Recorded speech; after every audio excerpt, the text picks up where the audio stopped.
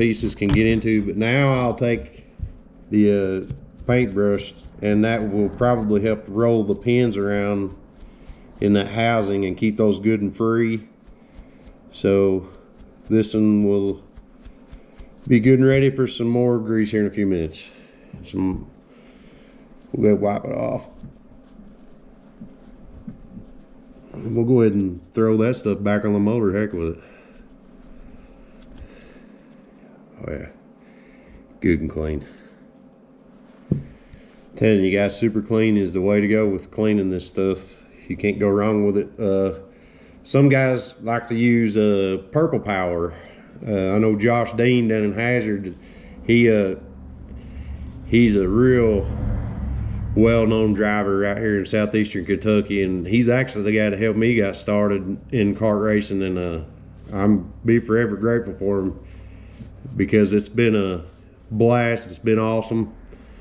And uh, I'm glad he gave me the opportunity to drive one of his carts up at uh, Mountaineer Kartway at Isom one weekend, and uh, wouldn't even expect him to drive, but here we are, uh, a little over a year later or whatnot, still racing. And uh, we appreciate you, Josh. I love you, brother. Um, get all this stuff cleaned up. I mean, there's so many other guys that's had a good influence on me with this kart racing so far, and I'll forever be grateful for from all. You know, Josh Dean, uh,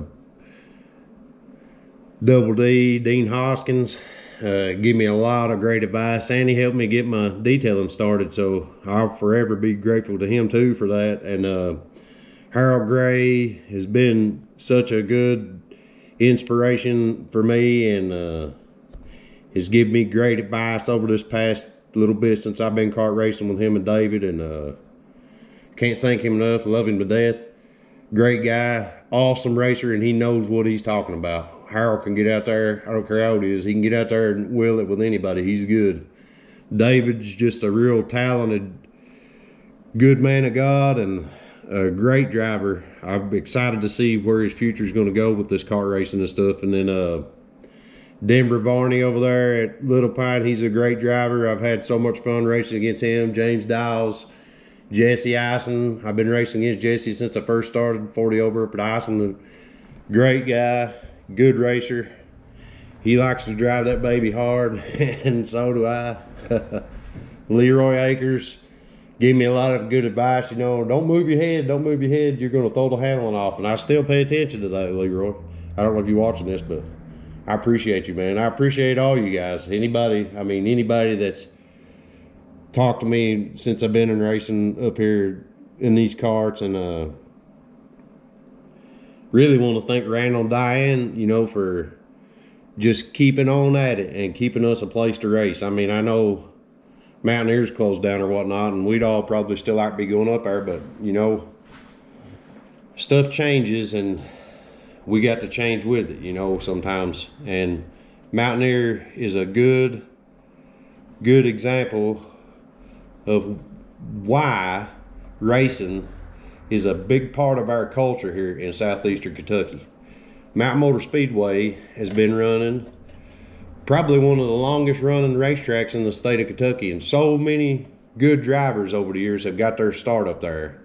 And so many good drivers that got their start up there started in the carts up at Mountaineer Kartway. And I mean, there's been tons of good drivers come from out of this area. So we just want to see racing stay alive and keep growing. It's like I was saying before, uh, we want we want you know to make it to where young people have something to strive for to get into. Yeah, it costs a little bit of money to race, but I mean it costs a little bit of money to do anything you do. And uh, why not spend the money on your passion, you know, if you can, and just put it out there and see what happens. You know, go go for what you want to do. I like I want to race. I'm on I'm gonna keep on racing as long as I can.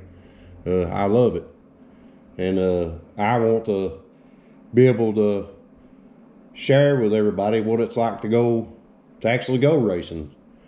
You know, for me, it was just a was always a dream to go race something, even if it is go karts. I don't know. To me, it's I'm out there and I'm serious as I can be racing that thing. I try to be as smooth as I can be and race as respectful as I can with people on the track because I don't want to hurt nobody and I don't want to see nobody tear their equipment up because it costs money to get it fixed and race ready anyways. And I want to see everybody go out there and have fun and have good runs. I mean, that's what we're out there for. Let's go out there and have some fun and let's go out there and race.